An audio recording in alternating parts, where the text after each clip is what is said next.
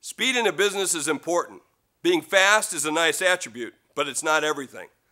Recently, I tweeted about a bad experience I had with an airline. They remain unidentified for the purposes of this example.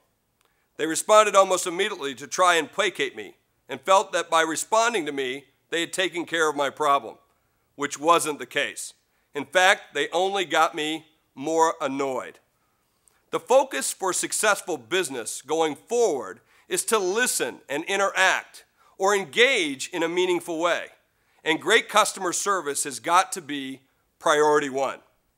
What are you doing to make your business stand out over your competitors with great customer service?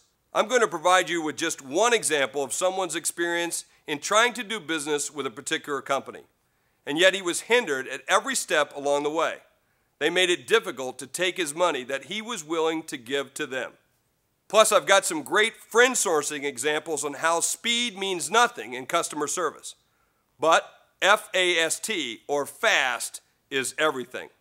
And don't forget, make sure to engage me on Facebook, Twitter, and LinkedIn about other examples about running the gauntlet for customer service.